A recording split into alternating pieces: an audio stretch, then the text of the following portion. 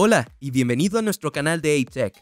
Como siempre, hemos preparado un emocionante tema de noticias para ti. Vamos a hablar de las energías renovables y de las baterías. Para saber más, sigue atento hasta el final de nuestro video. Y si aún no estás suscrito, te invitamos a hacerlo para no perderte de nada. Como ya sabes, todos somos responsables de la sociedad que nos rodea. Por ejemplo, todos tenemos un papel que desempeñar para reducir los efectos del calentamiento global. Ya sea en empresas industriales o como ciudadanos de a pie, todos podemos contribuir a la reducción de los gases de efecto invernadero. Dado que la degradación de nuestro entorno depende de nuestras acciones, ¿qué podemos hacer exactamente? Aquí es donde los investigadores han dado con una nueva o incluso mejor forma de almacenar energía, y para ello han experimentado con un material de larga data, nada menos que el hierro. ¿Es realmente posible o se trata de otro experimento descabellado? Averigüémoslo juntos. ¡Comencemos! Para el propósito de este video, vamos a centrarnos en la energía producida por las baterías. Y estamos bastante acostumbrados a las baterías convencionales. Se fabrican con plomo o litio. ¿Pero cómo funcionan? Es muy sencillo. Una pila contiene dos electrodos. Uno es positivo y el otro negativo. Estos dos componentes deben estar alojados en un contenedor. El contenedor suele ser de polipropileno. Se trata de un material muy resistente que permanece neutral en contacto con los fluidos del vehículo. Nos referimos en particular al anticongelante, la gasolina o el gasóleo. Quizá ya haya oído hablar de la palabra electrolito. Si no, también es un componente de la batería. Si el volumen es grande, la batería en cuestión necesitará poco mantenimiento. Esto garantiza una vida más larga para ella. Como puede ver, cuando se carga la batería, la electricidad se hidroliza se liberarán otros dos elementos, serán oxígeno e hidrógeno. ¿Ha notado alguna vez algún tipo de gas procedente de una batería? Bueno, estos son los dos gases que acabamos de mencionar.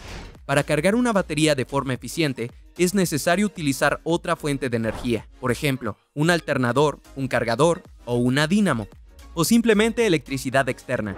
Antes de encontrar una alternativa a las baterías de plomo y litio, vamos a intentar averiguar cómo funcionan. Estas baterías contienen varios acumuladores, están dispuestos en serie. Para una mayor protección, algunos fabricantes añaden una bandeja con propileno. Pero como todas las baterías, al par de los electrodos está presente dentro de una cubierta sellada. En las baterías de plomo, los electrodos positivos se denominan rejillas, Contienen varias células que están llenas de un material muy activo, esto es peróxido de plomo. Los electrodos negativos deben tener cables metálicos. Estos dos electrodos nunca deben encontrarse. Por ello, están separados entre sí por un separador. Esto protege contra posibles cortocircuitos. Una de las ventajas del separador de la batería de plomo es que es altamente aislante. Además, este tipo de batería tiene una alta porosidad, en otras palabras, es altamente permeable a los aniones. Pero no solo eso, se mantienen perfectamente en contacto con el ácido sulfúrico. Sin embargo, la recarga de una batería de plomo afecta su vida útil. La tecnología de litio es muy popular debido a la carga rápida. En media hora puedes estar seguro de haber recargado la mitad de tu batería. Son más adecuados para los coches y son modulares. En ambos casos es importante recordar el origen de estos materiales. Estas baterías pueden funcionar con metales raros que pueden ser cobalto o níquel. Además, el coste es mayor. ¿Qué pasa con estas innovadoras baterías de hierro? Una empresa emergente ha encontrado la forma de explotar el hierro. Ha sido respaldada por algunos grandes nombres como Jeff Bezos y Bill Gates. Esta puesta en marcha secreta se llama Form Energy. Está desarrollando y ampliando la producción de una batería recargable. Según la empresa, la batería podrá almacenar electricidad durante 100 horas. A pesar de que Form Energy aún no ha demostrado su tecnología, ha conseguido más de 360 millones de dólares de financiación. Los socios y los expertos externos son optimistas sobre su potencial. Su objetivo era crear un dispositivo único para almacenar electricidad durante más de 100 horas. Para ello utilizaron un material no inflamable y no tóxico en las bolas de hierro. ¿Vale la pena este invento? La respuesta es sí. Los materiales utilizados son más baratos en comparación con las baterías de litio.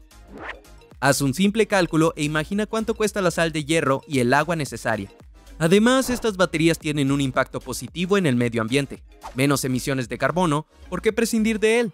Estas baterías se utilizan en instalaciones de energía renovables. Esto incluye las turbinas eólicas y el almacenamiento de energía solar.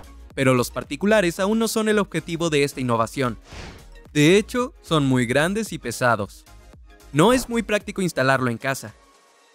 Pero con el uso de estos materiales baratos, la empresa defiende que las baterías cuestan menos de 20 dólares por kilovatio por hora. Según los expertos, esto supone una décima parte del coste de las baterías de iones de litio. ¿Cómo funciona esta extraordinaria batería? Form Energy utiliza tres materiales baratos y disponibles. Son el hierro, el aire y el agua, con un proceso que la empresa denomina óxido reversible. La batería se carga y descarga convirtiendo el hierro en óxido. Veamos esto con más detalle. El hierro servirá principalmente como ánodo. El electrolito es a base de agua. Por supuesto, esta es una solución diluida, teniendo en cuenta que las baterías funcionan en dos ritmos, carga y descarga, así es como funciona. Durante la descarga, el oxígeno del aire será un recurso para la oxidación del hierro. Se formará óxido. Si no, es decir, durante la carga, el óxido se convertirá en hierro. También se liberará oxígeno. El almacenamiento de energía es un reto constante. Los investigadores siempre buscan un cambio positivo. Para una solución sostenible y rentable, están obligados a tener en cuenta el cambio climático. Estos expertos en baterías han permanecido abiertos a diversas técnicas de adaptación. El objetivo es que este tipo de batería esté disponible para diferentes usos. Las baterías de hierro no deberían limitarse en las energías renovables. ¿Se imagina una batería que dure 15 años? Sería muy útil en las instituciones sanitarias. Eso sería un verdadero logro. La tecnología de las baterías a 20 dólares el kilovatio por hora eliminaría la necesidad del gas natural o cualquier otro tipo de combustible. Además, disminuirá el impacto que la energía nuclear tendrá en nuestro futuro energético.